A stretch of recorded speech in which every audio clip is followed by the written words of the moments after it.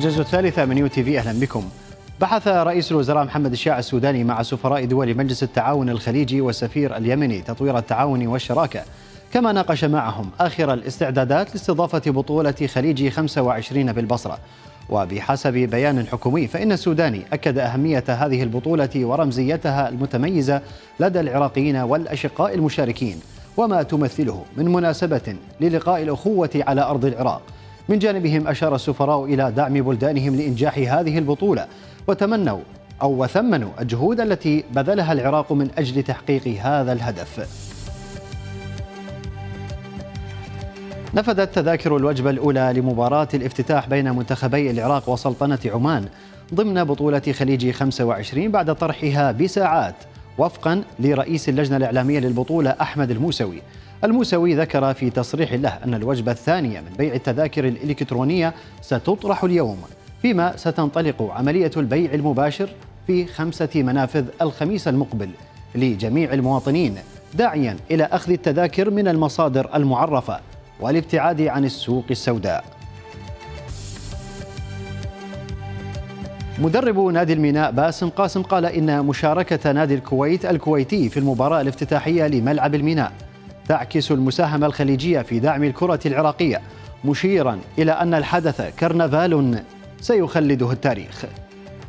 حقيقة دائما يعني تعودنا على أخواننا وأشقائنا من المحيط العربي ومحيط الخليج بأنه يكونون دائما سباقين حقيقة بمد يد العون للكرة العراقية والمشاركة في جميع الاحتفالات. أعتقد هذا الكرنفال الكبير وهذا الموضوع البروتوكولي اللي بمناسبة افتتاح ملعب الميناء الأولمبي يخلد التاريخ يعني محط فخر واعتزاز لكل مدرب محط فخر واعتزاز إلى اللاعبين إلى الجماهير. أعتقد لكل من يحضر المباراة في هذا اليوم. من جهته وصف عضو إدارة نادي الكويت الكويتي وليد المنديل الاستعدادات الخاصة لخليج البصرة بأنها أكثر من ممتازة مشيرا إلى أن المباراة اليوم هي رسالة كويتية لدعم استضافة العراق للبطولة. الاستعدادات أنا أشوفها استعدادات أكثر من ممتازة.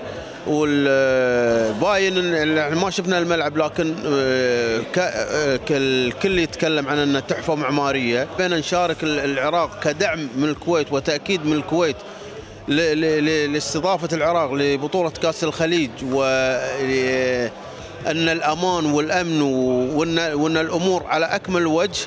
وإحنا حبينا نبين للشعب الخليجي والعالم العربي أن العراق لا زالت ولا تزال وهي بخير وان وان أن يطمنون يجون وهم مرتاحين.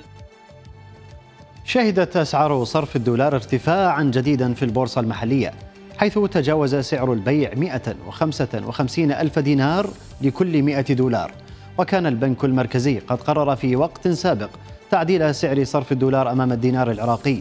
إذ بلغ سعر شراء الدولار من وزارة المالية 1450 دينارا. أما سعر بيعه للمصارف فقد حدد ب 1460 دينارا لكل دولار وللمواطنين ب 1470 دينارا. الخبير الاقتصادي باسم جميل أنطوان قال إن الطبقات الهشة الفقيرة هي الأكثر تأثرا بارتفاع سعر صرف الدولار. هناك طبقات هشه بالمجتمع أكثر مشترياتها هي جاية عن بضائع وسلع مصنوعة بالخارج. بالأخص يعني الطبقات الهشه الفقيرة يعني يعمل على زيادة نسب الفقر بطالة. لو قام الحكومة العراقية وأقدمت فعلا على توزيع حصة تموينية إضافية سيخف الطلب على السلع والبضائع من ضمن الحصة. بسعر بدينار عراقي يسدد راح يخف الطلب على الاستيرادات وبالتالي عامل مساعد على خفض قيمة الدولار ويصبح ميسورا يعني الطبقات الفقيرة ضعفت قوة الشراء بدل أن يشتري ثمان صمونات ب 1000 دينار سيشتري ست صمونات أو خمسة وهذا يأثر بشكل كبير ويقل يعني الطلب ويصير انكماش اقتصادي كما لاحظنا في فترة العيد. لم يكن هناك تسوق وحركة شراء واسعة وكبيرة بالنسبة لكثير من المواطنين بسبب ارتفاع أسعار السلع المستوردة من الخارج. ختام الموجز إلى اللقاء.